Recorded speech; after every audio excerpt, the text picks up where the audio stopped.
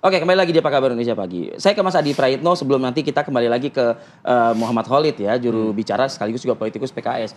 Mas Adi, tadi saya sempat ingin menyampaikan tapi sepertinya uh, sudah membaca uh, apa yang ingin saya sampaikan ke Mas Khalid. Tapi sebetulnya konstruksinya begini. Kalau saya membayangkan menjiwai Pak Anies Baswedan, mungkin berpikir gini, ini PKS ini serius nggak sih ngasih tugas ke saya untuk melengkapi empat kursi yang tersisa?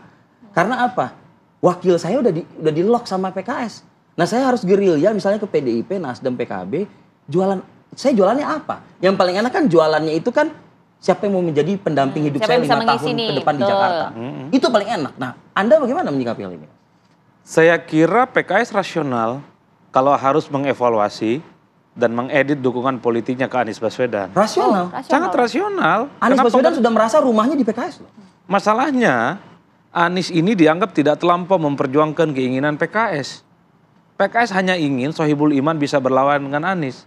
Anies tinggal yakinkan partai politik yang lain yang katanya memberikan dukungan ke Anies untuk bisa menduetkan antara Anies dan Sohibul Iman. Itu yang prinsip.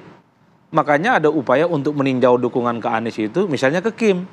Tinggal diuji apakah kalau PKS ke Kim dapat wakil, Wakil tentu yang menjadi utama dari PKS adalah Sohibul Iman atau kadernya yang lain bisa berlayar. Tapi kalau gabung ke Kim, wakilnya bukan PKS, tapi PKS ada di Kim, berarti bukan kader yang diinginkan oleh PKS, tapi ada tujuan-tujuan lain menjadi bagian dari koalisi Prabowo Gibran, Gibran. untuk lima tahun Lima yang akan tahun. datang. Tapi per hari ini saya membaca bahwa PKS itu sebenarnya cinta matinya kepada Anies. Cuman Anies kalau mau berlayar wajib hukumnya ada Sohibul Iman, ada kader PKS di situ. Tanpa itu maka PKS mencoba untuk membangun komunikasi dengan Dan yang Anda lain. melihat Anies tidak memperjuangkan itu atau bagaimana? Kelihatannya tidak memperjuangkan karena Anies merasa bahwa PKS itu bisa dikonsolidasikan. PKS itu sudah di tangan. Jadi PKS ini kalaupun toh mau bermanuver tidak akan mungkin pindah ke lain hati. Saya justru membaca Hmm. Anies ini agak kaget dan mungkin sedikit menyesal dengan apa yang dilakukan oleh PKS. Kenapa menyelesai? Apa pun judulnya, PKS ini adalah cinta setianya Anies Baswedan. Itu yang saya maksud. Itu dari dulu. Maka itu kaget tadi itu ya. Kaget loh, kok ini cinta setia, cinta tulusnya tiba-tiba mengevaluasi dukungan.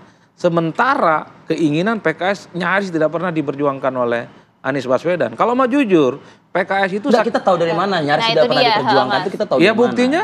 Tak ada dukungan partai lain per hari ini di luar Ya PKS. sulit juga Mas apa yang mau disampaikan oleh Anies ke partai-partai lain. Karena sudah di lock. Ya artinya apa? Kalau PKS mengunci pakai Sohibul Iman wajib maju kadernya, Hah? Anies harus cari tambahan partai lain dong. Iya. Bergening Yakin apa yang disampaikan oleh Anies Betul. gitu. Yakinkan, yakinkan Nasdem, yakinkan PKB, yakinkan PDIP mungkin bahwa Anies layak diusung mereka sebagai calon gubernur. Jadi Anies itu harus diwarnai warna politiknya.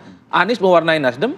ah, Kalau Nasdem tidak mau, Anies bisa tidak diklaim sebagai bagian dari PKB sehingga wakilnya yang dikunci oleh PKS ini berlayar. Hmm. Ini yang saya kira memang harus dihitung juga oleh Pak Anies Baswedan itu. Oke. Artinya apa? Ini yang saya kira kalau kita iris satu persatu, luka hati politik PKS ini sebenarnya sudah mulai kelihatan satu. Hmm. Ketika Sandi maju sebagai calon wakil presiden, jatah wakil gubernur Jakarta mestinya PKS. Tapi Anies tidak memperjuangkan itu. Justru orang lain yang ngambil dari Gerindra. Yang kedua, faedah elektoralnya di pilkada, itu PKS paling sedikit kok.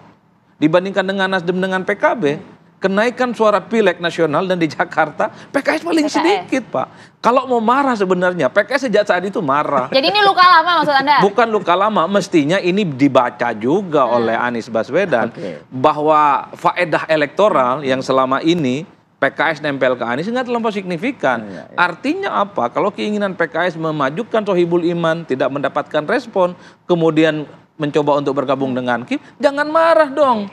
Oke. Toh Anies juga bukan kader PKS. Oke. Toh juga PKS dalam banyak hal tidak diperjuangkan kan kira-kira begitu Pak. Iya, iya, nah saya membaca ngomong ke Bang Holid dan kawan-kawan. Nah, Apa? Nah iya, silakan. ini nih begini berpolitiknya. Kalau nggak nguntungin sama Anies ya udah cari yang lain yang nguntungin.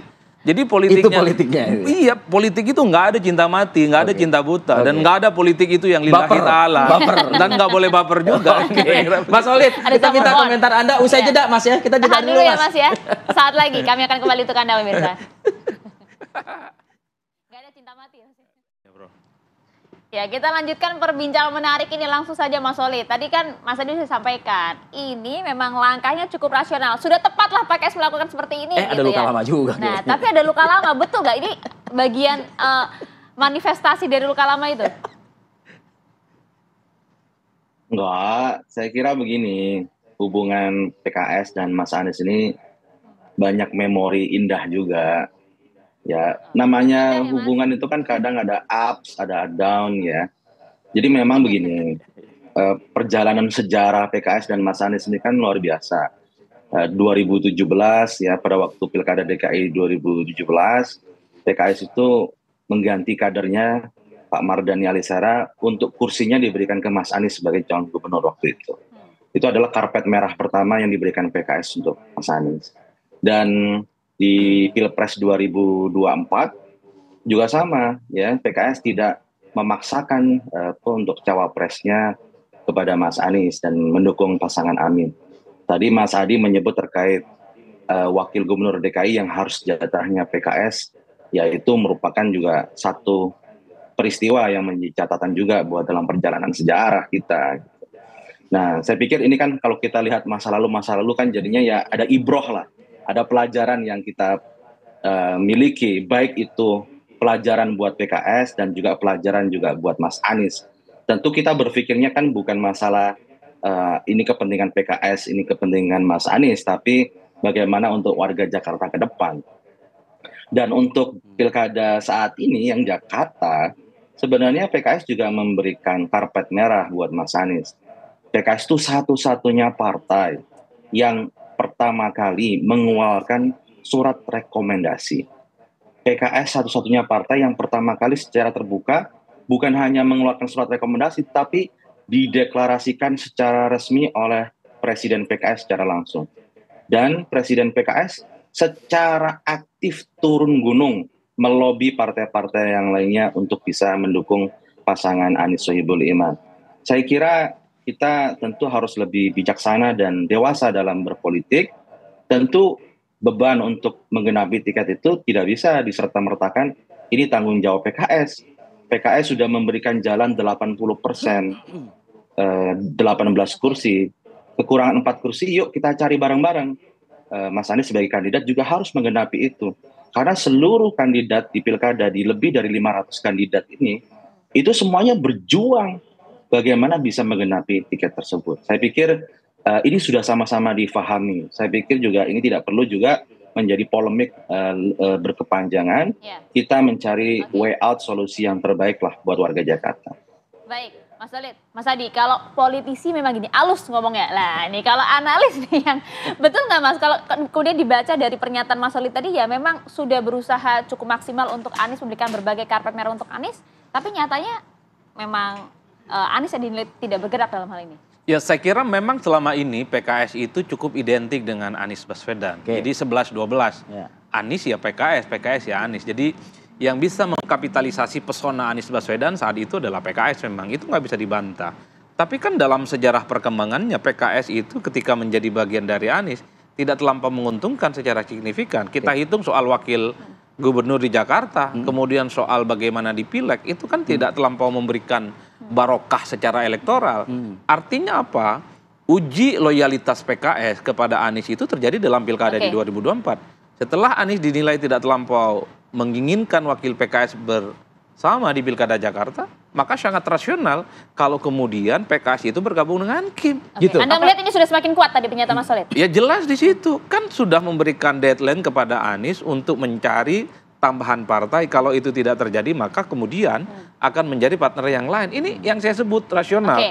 Selama ini kan yang dikritik dari PKS oleh kawan-kawan itu karena memang PKS ini sangat cinta buta sudah sama Anies Baswedan. Oke. Ke mana Anies Baswedan di situlah PKS. Oke. Sekalipun PKS dirugikan di situlah PKS berlabuh. Oke. Ini yang kemudian dikritik. Ini bukan partai politik. Ya. Ini adalah jalan menuju surga kalau begini ceritanya. Nah, PKS ini sejak 2024 Oke. sudah mengkalkulasi bahwa politik itu untung dan rugi. Kalau Anies nggak nguntungin, pindah dong Oke. ke tempat yang Tapi kalau lain. Mas Solid, hitung-hitungan kursi juga kayaknya lebih banyak eh, benefitnya ke eh, bergabung dengan eh, Kim ya daripada dengan Anies Baswedan. Betul, betul.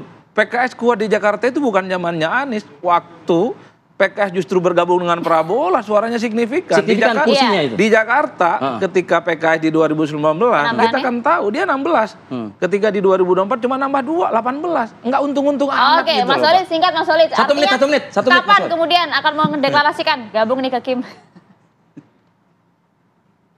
Ya, hasil musyawarah majelis Suro kemarin mengamanatkan untuk membangun komunikasi ke seluruh pihak, termasuk juga ke koalisi Indonesia, Indonesia Maju. Saya pikir ini adalah tahapan masih awal untuk kita berbicara terkait keputusan. Ya, kita masih membuka opsi kedua untuk mendalami, mengeksplorasi, menjalin hubungan komunikasi yang baik. Mungkin itu saja. Oke, baik. Untuk saat ini itu itu saja dulu ya Untuk Mas ini. Berarti nanti akan ada lagi Mas Walid Iya. kita kita pantau juga ya. Makasih Mas banyak. Ojo. Muhammad terima kasih Mas ya. Oh. Terima kasih Mas. Baik, Mas Adi, terima kasih banyak. Terima kasih, Mas terima kasih. Mas Fadil, Mas Fadil. Weh, Bang Holid merasa dibela hari Iya. ini. Oke, Waalaikumsalam warahmatullahi wabarakatuh. Waalaikumsalam Dan